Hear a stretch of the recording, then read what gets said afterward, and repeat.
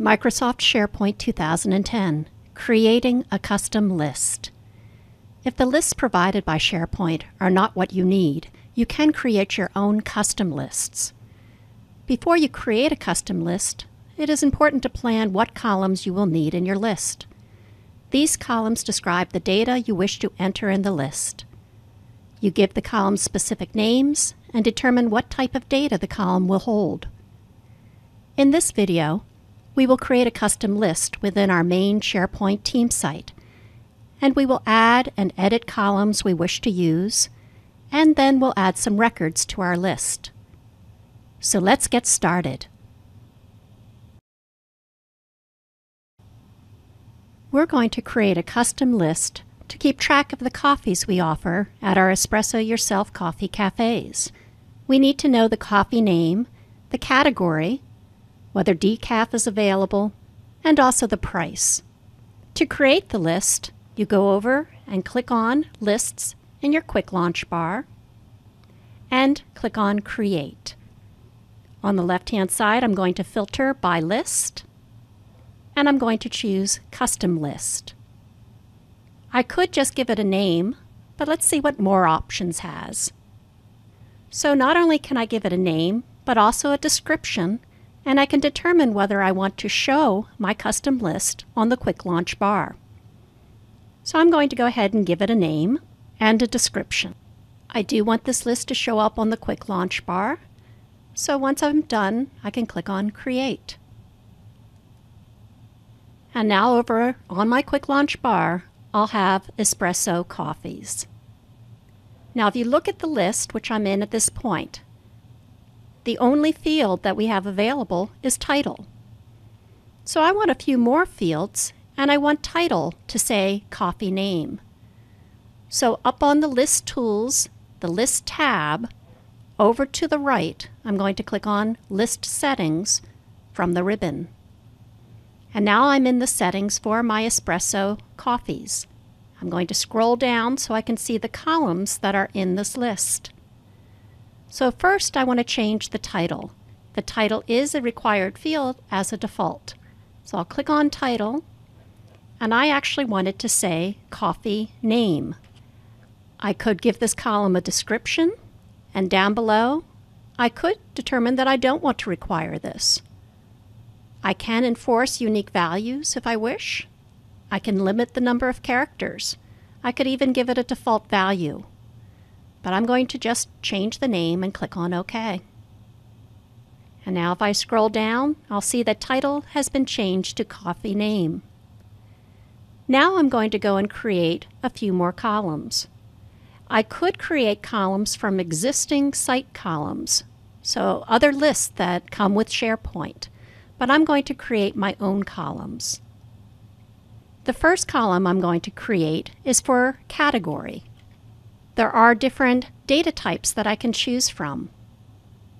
So maybe I just want to keep it as text. I could do multiple lines of text. I could determine if it's a number, currency, or date. Is it a calculated field or hyperlink? I'm going to make this one a choice. And when I click on choice and scroll down, the settings I have available change according to the data type I choose up at the top. So again, I could give this a description, I could require it, I could enforce unique values, but this is also where I would put my choices. So I'm going to select the defaults and type in my own. You can put as many choices as you like, just putting each one on a separate line.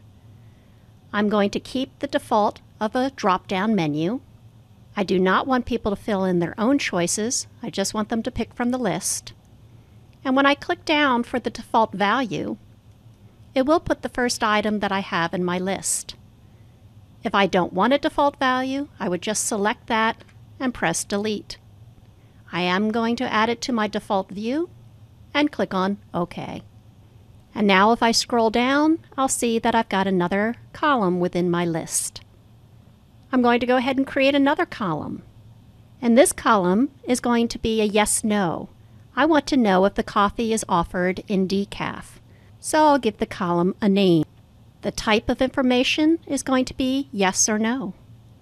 And when I scroll down, I don't have many settings to choose from, but I could give it a description.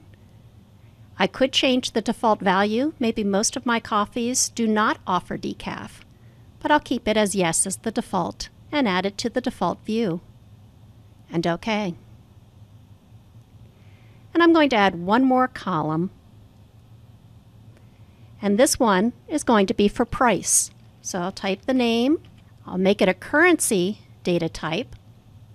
And when I scroll down, notice that the settings, again, apply to whichever data type I choose.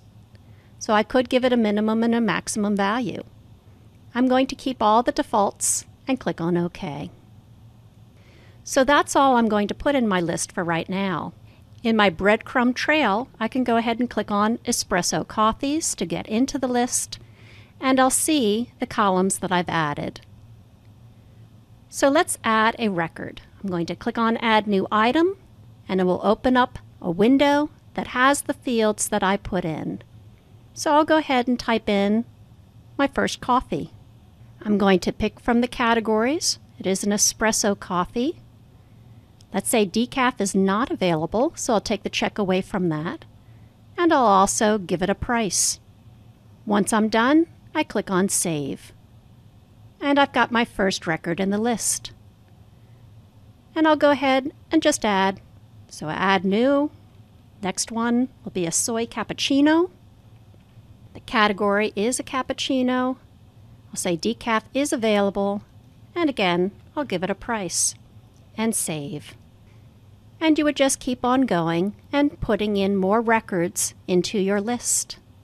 And that's how to create a custom list and add records to that custom list in SharePoint 2010.